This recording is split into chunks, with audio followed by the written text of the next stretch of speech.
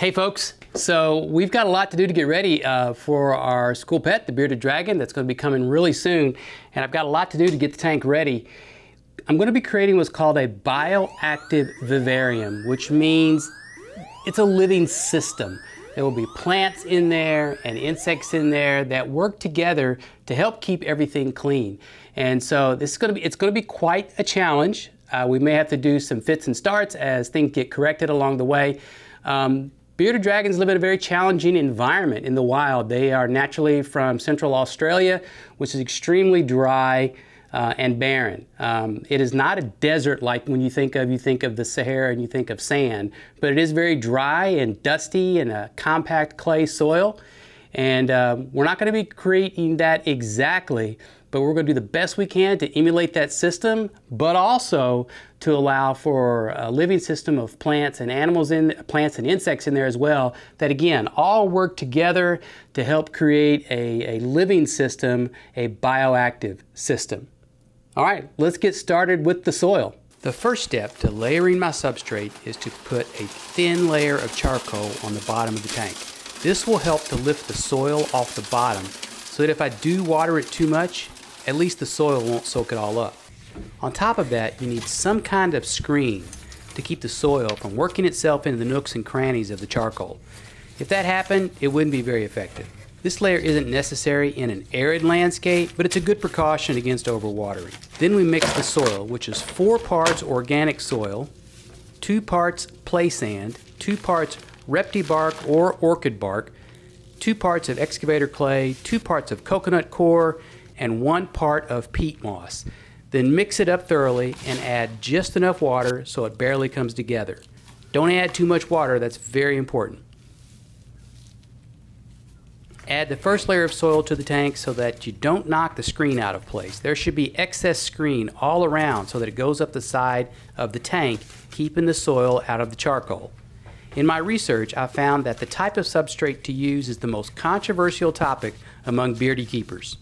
Most keepers don't use a loose or soil substrate. They use tile, linoleum, repti carpet, or even paper towels, although some use just plain sand. The great fear of some keepers is impaction. Impaction occurs when an indigestible mass blocks the beardy's digestive tract. This can be very dangerous, even fatal. Because of this, lots of keepers will avoid any loose substrate at all. However, beardies naturally come from the arid outback of Australia. Their natural soil is heavy in clay, silt, sand, and rocks, as well as organic matter such as dried leaves, sticks, grass, and logs. Many zoos copy this kind of setup, and I want my Beardy to have the most naturalistic environment I can provide to promote instinctual behaviors. In this soil mix, I have avoided unnatural elements such as perlite, vermiculite, and pet bedding such as wood shavings. I use a naturalistic substrate that includes fine organic material, sand, and clay. I don't believe it has any more risk than occurs in nature.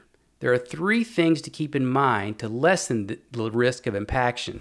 One is to be sure and eliminate substrate particles that are not native to the habitat, like perlite and vermiculite. Two, be sure the diet you provide is appropriate. This includes fruits and vegetables as well as insect feeders that are easy to digest. Crickets are common feeders that you can get at a pet store, but they have lots of indigestible material. The third thing is to be sure your beardy has adequate heat and light heat and light are actually critical to your beardy's digestive system. As I'm mixing this soil together, notice that the final product holds its shape when you dig in it. And that's similar to the natural habitat that a beardy comes from. So there we go guys, the soil, uh, the substrate is in the tank. And uh, the next step is going to be to add some hardscape to it. Bearded dragons love to climb and they love to bask. So in the heat and of course the special light, the UVB that they need. So I've got some rocks here that I have collected. Check this rock out. This one is real special.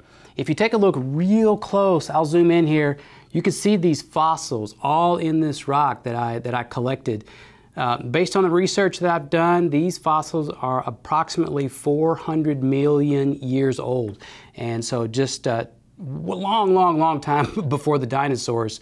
The dinosaurs are closer to us than they are to the fossils in this rock by a long shot. Also collected some driftwood here and some eastern red cedar that had been uh, naturally hollowed out with time, and so I think that's going to make a great hide uh, for the bearded dragon if he chooses to use it. And uh, all of these have been, uh, the, the, the, wood has been sterilized in an oven, baked in an oven at 350 degrees for a half hour. The rocks, the rocks, I just washed the rocks in water with a scrub brush. That should take care of any mites or fungus or anything like that would be, that would be on any of this. Part two here on this video is we're gonna set this up in the tank. Let's see how that goes. First and foremost, it's important to be sure the enclosure is safe. I'm stacking these rocks on the side of the tank where the basking lights will be. But these rocks are heavy, so I need to make them as stable as possible. I have to take my time to find the best fit and the most stability. I'm creating sort of an arch with a hiding area below the main rock, and I certainly wouldn't want the rocks collapsing on the little guy. So after I fiddle with the rocks, to find a reasonably stable arrangement, I use an aquarium-safe silicone caulk as glue to bind it all together so it doesn't fall down. Once it dries, it will be stable and safe as well as provide a large basking area where he can soak up the sun. Next comes the driftwood I've collected. The limbs are from sycamore trees and the hollow log is from an eastern red cedar. The cedar is very weathered and old so there's no concern from tree sap and all the wood has been sterilized by baking in a 350 degree oven for at least 30 minutes. The point here is to create interesting and naturalistic features to climb on. The hollow log might be a place where he can brumate, Brumation is a hibernation-like state that beardies engage in and can last from one to three months. There's a lot of variability in captive bred beardies regarding brumation, so just going to have to wait and see how that plays out. We've already determined that a beardie's natural habitat is rocky, hard-packed scrubland. It's here that they frequently climb to bask in the blazing summer sun, perhaps hiding out under a rock in the middle of the day. On the hunt, they forage for insects around rocks, logs, and underbrush. The environment of the enclosure is important to consider. There needs to be a variety of zones. Some areas will be in the brightest light, others will be in the shade. Some will simulate the heat of an Australian summer sun, while the other areas will be cooler. And some areas will be bone dry, while other areas are more humid. Doing all this in one enclosure is the challenge, but it's a goal worth pursuing. The beardie will be healthier and happier as a result, and that's my goal in creating this setup. Okay, the hardscape is in place. I got the rocks in place for the basking uh, spot. I've got some driftwood in there to climb on and hide in. Now the next stage is we've got to get some plants in this thing. One of the most important parts about creating this enclosure is you, you need to create zones. Zones that are from hot to cooler, zones that are drier to more humid. And that's very challenging in a single tank, but the plants are gonna help me do that. Plus, they all have to be edible because bearded dragons are omnivores and, and he will likely eat on some of these, munch from time to time. You just want to be sure that nothing is toxic inside your tank for your bearded dragon. So looking at my plants I've got here, and I've just bought these locally, but I have cleaned them uh, really well. I've rinsed them off. I've stripped away as much of the soil as I can easily enough without killing the plant and also the perlite that is in the potting soil. I try to remove all that because that is not a very digestible item and can pose a hazard for your bearded dragon. But here I've got some uh, rosemary. You might be familiar with this in your herb garden.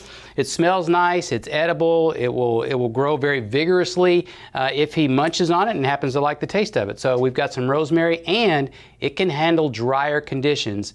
Not the driest side of the tank, but together these plants are going to help me create a humid zone in one side of the tank. Plus, as an added bonus, they're going to help the insects that I add later because the insects will be able to live and harbor themselves uh, underneath and in the root area of the plants where it will be moisture.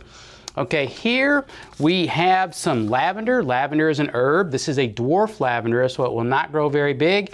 And if it does grow too big, I can just cut it back and I, am not bashful about replacing the plants. If I decide six months from now, a year from now that I don't like the plant, I can just pull it out and replace it with something else. But lavender is also edible and can handle drier conditions. So this will do well in the tank also. Here we have some aloe vera. You've probably seen this. Maybe some of you have this in your kitchen. You break off a stem and rub it on your burn if you have a, a burn in the kitchen. Um, this also can handle drier conditions and is edible. Very popular plant for bearded dragon enclosures. Here we have a jade plant, which is also edible, and uh, I just like the look of it. They can grow kind of big, um, but they're really, really slow growing. So I'm not too worried about that, and uh, hopefully that one will be okay as well. It adds a nice texture and density, I think, uh, to the enclosure.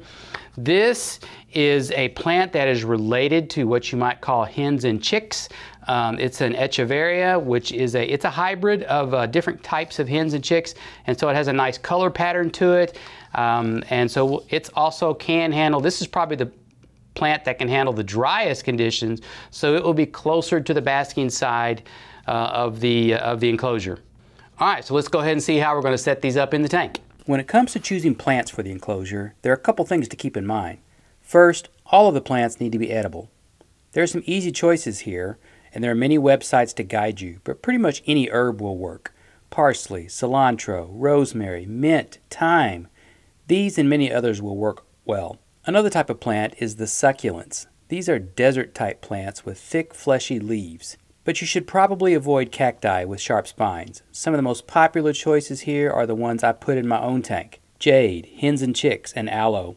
Prickly pear is a good choice if you can find a variety without spines. Ideally, you will want to strip the plants of most of their old soil and give them a good washing. This prevents any issues with chemicals. Another plant solution is to sprout your own seeds in the tank. These can easily be refreshed and will give your beardy a tender plant to munch on. Lots of keepers are worried about humidity and so concerned about living plants. But based on what I've seen of outdoor keepers in Florida where humidity is sky high, humidity isn't the big concern lots of keepers think it is. What's really important is plenty of ventilation and a cage free of animal waste, fungus, and mold. You can still have plants and accomplish this. We're getting this tank almost finished and not a moment too soon. But I need to introduce you to the most important part of this mini ecosystem, and that's the cleanup crew. Let's take a look. Here we have two different animals that you can see, isopods and springtails. There are also lots of microorganisms in here that you can't see.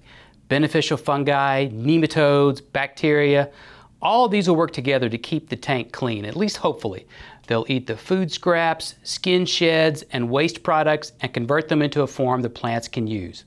The beardy eats the plants and then the cycle starts anew. The big problem that remains is the humidity. Bearded dragons like a dry environment while the cleanup crew likes a damp one. This poses some challenges that I've addressed by creating little microclimates in the tank. With the wood, I will add some leaf litter later, and hopefully that will keep the humidity at the soil level and not up in the air where the bearded dragon is. Now let's take a look in here. First, these isopods. You may know them as roly-polies or pill bugs. There are thousands of species of isopods around the world on both the land and the water. Some of them are quite colorful and highly valued by collectors. For example, the rubber ducky isopods. Let me show you an example. Just look at that face. Aren't they cute? Isopods are a type of crustacean and are closely related to shrimp. They can also be a supplemental food source for the bearded dragon and prompt natural hunting behaviors as he rummages around and digs through the soil trying to find them. Springtails are another form of cleanup crew, but they're much smaller. You can hardly see them. There are also thousands of species around the world and they live on every single continent. They're one of the most numerous organisms in the world that you can see with the naked eye. They eat fungi and bacteria. The reason they're called springtails is because they have this appendage called a furcula that enables them to jump long distances. Now let's add these guys to the tank. Well, that's it as far as a cleanup crew. You just kind of dump them on top of the soil on the humid side of the tank. You'll add some leaf litter on top later to keep the humidity up for them and mist it every now and then. And of course, water the plants too. Also, you might need to have some extras on hand to replenish them from time to time.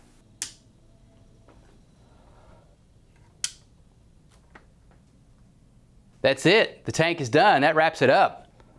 I really appreciate you joining me in this journey. I have been an animal lover all my life, and I've learned a lot in this process, and I think there's kind of a lesson in there. You know, there's always something to be learning. So always be learning. That's an important life lesson, I think, not only for kids, but for adults as well. I'm sure I'm going to be learning a lot more along the way. And uh, if you have any advice or guidance, you know, feel free to stop by and, and say hi. I certainly look forward to sharing what I learned. if you like this video, let me know down in the comments down below. You know, I've created a lot of different kinds of videos. Things about me as a person, things about the school, things about the students. What do you prefer? Let me know down in the comments down below. I'm curious. This weekend, I'm going to be going to Cincinnati to get the Bearded Dragon, and I hope you will check back for the future video for the full reveal and uh, finalize the name on this little guy. I would sure very much appreciate it if you could hit that subscribe button, like this video, and just maybe, just maybe, share it on your social media. I'm Richard Royster, Associate Principal of Lafayette High School. You know, that's a good thing to remember. Always be learning. I like that. I'm going to use that more often. Always be learning, guys. I'll see you in the next one.